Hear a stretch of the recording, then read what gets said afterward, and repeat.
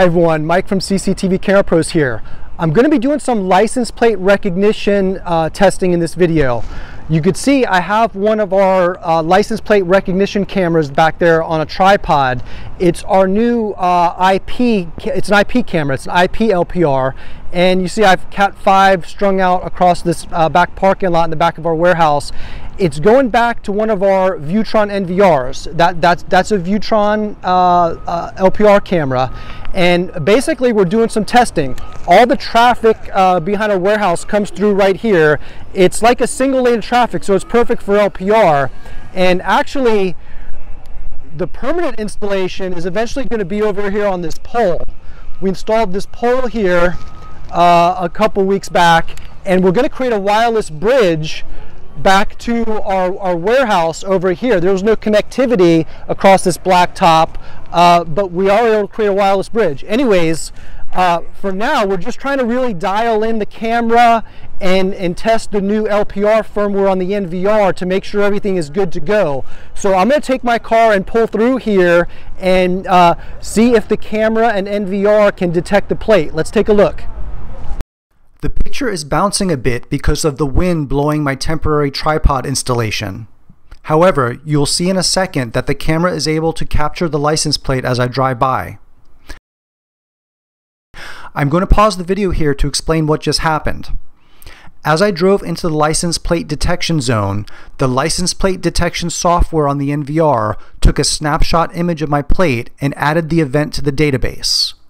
You'll notice that the automated number plate recognition successfully identified all of the numbers and letters on my plate.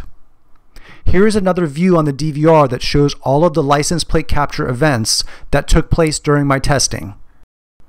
To playback recorded video footage of the license plate capture events, simply hover the mouse cursor over any of the license plate thumbnails and press the play button.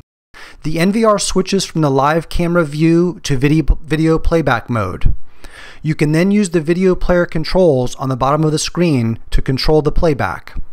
I'll pause the video here so you can see how clearly the license plate was captured.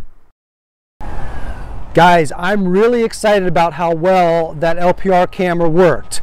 Not only was the NVR able to detect the plates successfully, but in every test that I ran, all the numbers and letters of the plates were successfully recognized. This is great. These cameras are extremely affordable, as are the NVRs.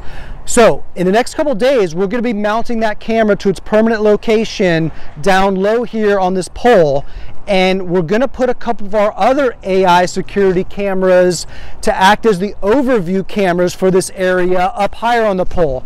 That's typical. When you do it, when you when you're putting together an LPR application, you want your license plate camera down low, as close to the plates as possible, and then you want at least one overview camera up high, getting the entire vehicle and the surrounding area coming in.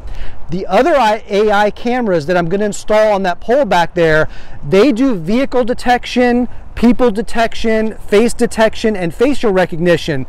So those are real neat too. You can learn about this LPR camera as well as the new the other Viewtron AI cameras at www.cctvcamerapros.com slash AI. Thank you for watching.